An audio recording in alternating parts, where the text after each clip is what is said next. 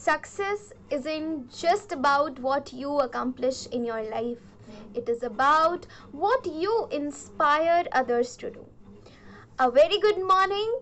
Today's assembly is being conducted by the students of grade 12th A2.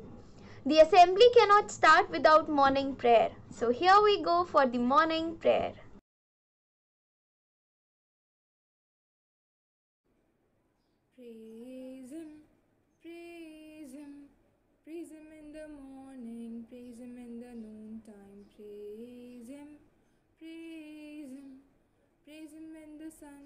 Goes down.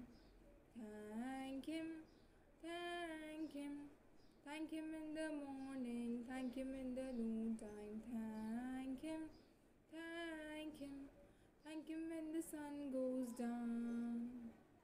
Serve him, serve him, serve him in the morning, serve him in the noontime, serve him, serve him, serve him when the sun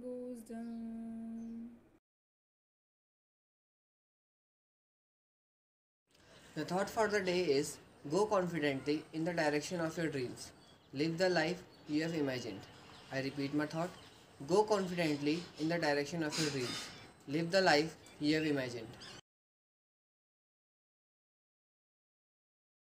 Word of the day is extant.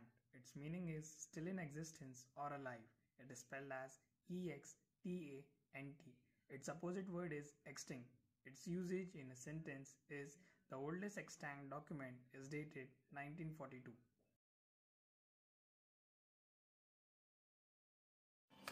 The theme of today's assembly is duties and responsibilities of a student in school.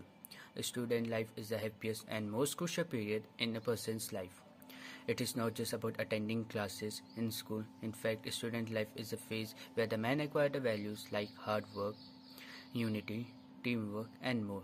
Every person has some responsibilities as a student in school, which are as follows obey the teacher, maintain discipline, be helpful, keep the school neat and tidy, participate in the co-curricular activities organized by the school, cooperate with teachers.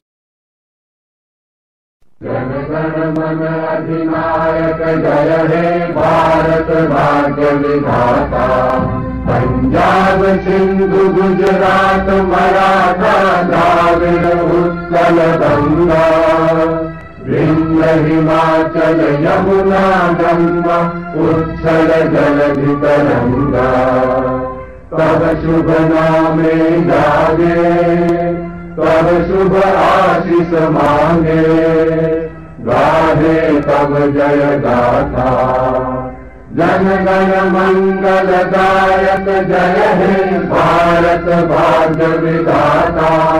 जय हे जय हे।